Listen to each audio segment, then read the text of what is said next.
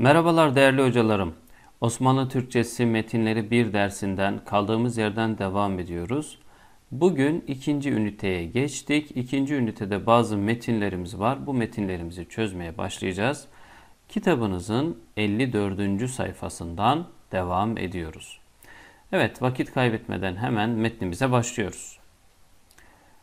Girit'te Hanya fethinden sonra sonra kelimesine dikkat edelim. Bakalım ne ile yazılmış? Nazal ne ile yazılmış? Hanya fethinden sonra vaki olan yani gerçekleşen derya seferleridir. Deniz seferleridir. Seferi Musa Paşa. Burada bir isim tamlaması var. Hemen bunun altına bir esre koyuyorum. Esre ne yapıyordu zaten? İyiliği okutuyordu. Yani şunu demek istiyorum. Seferi Seferi Musa Paşa. Musa Paşa. Evet, Seferi Musa Paşa ve Mehmet Paşa. Biliyorsunuz Muhammed gibi yazılır ama Mehmet ya da Mehmet diye okunur. Aşağıya doğru iniyoruz. Burada bir ay ismi var. Zilhicce'de Yusuf Paşa katlinden sonra bakınız sonra kelimesinde nazanlaya var. Sonra vezir Musa Paşa kapudan olup kapudan yani kaptan olup veziri azam veziri azam en büyük vezir anlamına geliyor. Yani burada da bir ne var? İsim tamlaması var. Şu şekilde transkribe edilir. Veziri azam Evet veziri azam Mehmet Paşa'dan Mühri Hümayun. Evet. Padişahlık mührü Mühri Hümayun. Hümayun yani onların hani yetkilendirildiği mühür, mühri Hümayun alınıp donanma serdarlığı ile Giri'de varmak emr olunmuş idi. Evet, hedeflerinde Girit adasını almak var. Devam ediyoruz. 1056. Bin kelimesi nazanne ile yazılan özel bir kelimedir. Bakın nazanne burada. 1056 baharında çıkıp boğaza vardıklarında mukaddema, mukaddema ilk olarak, mukaddema en başta, ilk olarak, ilk olarak seferin 27. Bakın 20 diye yazılmış. Burada bir kef harfi var. 20 diye telaffuz ediyoruz. 27. günü 20 kıta kalyonla küffar gelip kalyon e, savaş gemisi ama biraz daha e, donanımlı öyle düşüneceğiz. 20 kıta kalyonla küffar gelip Bozca Ada hisarını muhasara eylemişler. Hisar kale demektir. Hisar kale. Muhasara da kuşatma. Muhasara eylemişler yani kuşatmışlar idi. Deri devletten. Evet, burada bir isim tamlaması var. Şuraya hemen esreyi bırakıyorum. Şu şekilde transkribe ediliyor. Deri devlet yani devlet tarafından Deri devletten 20 kıta kadırga Evet, kalyona göre biraz daha az donanımlı diyebiliyorum. 20 kıta kadırga dahi gönderilip imdada erişmek ferman olundukta, olunduğunda yani Hisar'ın burada bir nazal ne var. Nazal neylere dikkat ediyoruz. Hisar'ın barutu ve mühimmatı hazır bulunmayıp yani yanlarında olmayıp limanda bulunan yolcu gemileri barutu ile bir iki gün cenk ederler. Yani kendilerinin yanında barut ve mühimmat pek yok ama limanda bulunan gemilerin barutlarını alarak bir iki gün cenk etmişler. Rum eli Begler Begisi yani Rumeli Beyler Beyi Küçük Hasan Paşa. Küçük Hasan Paşa beş kadırga ve serden geçti ile serden geçti askerleri ile varıp cezireye er döküp o adaya asker ulaştırıp alel gafle yani gaflet üzerine gafletteyken hücum edecek, hücum edince küffar yani kafirler, küffar kafirler demek Hisarı kaleyi bırakıp gemilerine firar eyledi. Yani bir yardım kuvveti gelince küffar yani kafirler o Hisar'ı kaleyi bırakıp gemilerine yöneldiler. Ve demir koparıp, demir alıp Anadolu kenarlarına gittiler. Hisar yani kale bu tarikle, tarik yol demektir. Hisar bu yolla Hisar bu yolla küffar yani kafirler elinden kurtuldu. Evet başka bir e, muharebeye geçiyoruz. Bakalım burada nelerden bahsedecek. Muharebe-i donanma. Bakın burada ne var? Bir hemze elif var. Hemze elif olmasının sebebi e ile bitmiş olmasıdır. Tamlama özelliklerini verdiğimiz derslerde bunu çok iyi anlattık.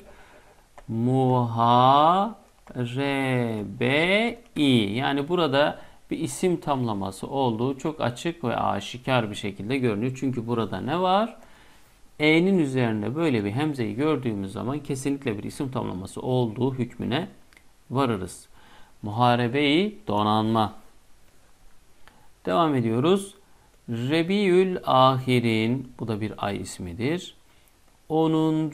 günü donanmayı Hümayun. Evet burada da bir isim tamlaması olduğu çok aşikar. Çünkü eğer elifle bitiyorsa uzun elifle hemen buraya bir yı gelmesi lazım.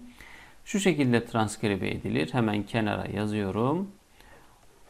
Donanmayı. Bakın donanmayı Hümayun. Donanmayı Hümayun.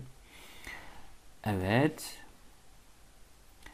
Gelibolu'dan kalkıp küffarın yani kafirlerin 26 pare 26 pare kalyonu 26 pare kalyonu muarız körfezinde evet muarız körfezinde sulanırken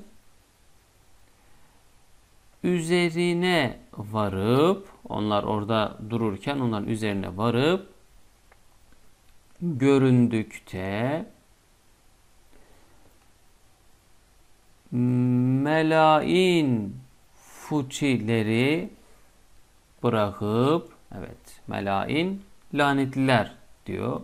Onları diyor bırakıp yelken üzerine gelip bir miktar denize çıktıkta, çıktıklarında kuşluk vakti cenge mübaşeret olundu. Yani kuşluk vaktinde savaşa başlanıldı.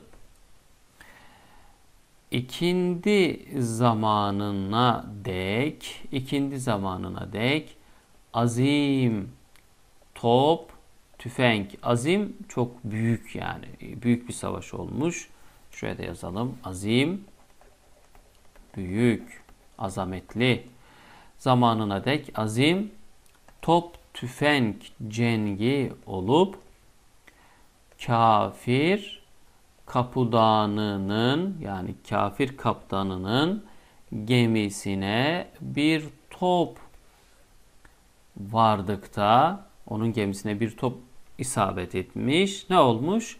Sancağıyla direği düşüp suya beraber dalınmış iken çüst deprenüp çüst aniden aniden aniden diyor deprenüp oynayıp garktan yani batmaktan garktan batmaktan kurtuldu. Ani bir hareketle gemi alabora olmuyor. Bir anda tekrar deprenip düzeliyor. Batmaktan kurtuluyor ve birkaç gemileri dahi mecruh yani yaralanmış, vurulmuş, hasar görmüş, mecruh yaralı, yaralanmış olup küllü yani tamamı kül tamam demektir. Küllü tamamı küllen diyoruz ya külliyen diyoruz bazen. Küllü tamamı hasar gördüler. Beri taraftan dahi Kasım Paşa Zade gemisine bir top gelip on kürekçi düşürüp vesairden birer ikişer adam düşüp rüzgar çıkmakla rüzgarın çıkmasıyla cezire altına varıldı. Yani o adanın altına varıldı. Cezire ada demekti. Ve Giri'de Giri'de teveccüh olundu. Yani Giri'de yönelindi. Mahı mezburun Mahı mezbur. Burada bir isim tamlaması var. Mahı mezburun. Bu şekilde transkribe ediliyor. Mahı mezbur. Peki mezbur ne demek? Sözü daha önce geçen, sözü geçen mah ay demektir. Tersten söylüyoruz. Sözü geçen ay. Yani bu metin okunmaya başlarken bir ay ismi geçmiş. Diyor ki yani şu sözü geçen ayda 23'ünde o ayın 23'ünde Deri devletten burada bir isim tamlaması var. Deri devlet. Yani devlet tarafından. Deri devlet. Deri devletten 10 kıta kadırga bir askeri gemi ile Ahmet Paşa Karadeniz'e bakınız denizi neyle yazmış? Nazal neyle. Hatta bugün Anadolu ağızlarında deniz derler değil mi? Bakın o ne daha çok açıkça görünür deniz. Karadeniz'e gitmiş iken gelip artlarınca onların arkasından ne yapmış? İmdat yani yardım gönderildi. Cumazel Ula'nın evet veya Cumadel de diye geçiyor. Cumadel Ula'nın bu bir ay ismidir. 28'inde Serdar ve Kapudan kaptan yani Hanya'ya varıp Sude hisarını bu e, kaleyi muhasara. Muhasara ne demekti? Kuşatma. muhasara üzere iken Mehmet Paşa vefat etti. Mehmet Paşa bu kalenin alınması üzereyken vefat etti. 140 pare gemi Hanya önünde ön kelimesine dikkat edeceğiz kıymetli hocalarım. Burada da ne var? Nazal ne ile yazılmış bir kelime var. Hanya önünde muhafazaya konulup limanın bakın burada da nazal ne var? Limanın iki tarafında toplar kuruldu. Evet. Küffarın dahi, kafirlerin dahi çektiri, çektiri yani kürekle çekilen gemi manasında geliyor ve burtun, borton da olabilir. Bu da bir çeşit gemi ve mavna, mavuna diye yazılıyor. Mavna, yelkenli demek, makulesi yani bunların tamamı yüzden ziyade sefayini, sefayin sefinenin çoğuludur. Hemen burada yazalım. Sefayin. Sefayin sefinenin çoğulu yani geminin çoğulu gemiler. İşte yüzden fazla bu gemiler Sude imdadına dönüp durdu. Evet arkadaşlar. Bu metnimizi burada bitirelim. Yani Osmanlı Türkçesi metinleri bir dersinden ikinci üniteye geçmiş olduk. Bir sonraki dersimizde görüşmek üzere. Allah'a emanet olunuz. İyi çalışmalar diliyorum.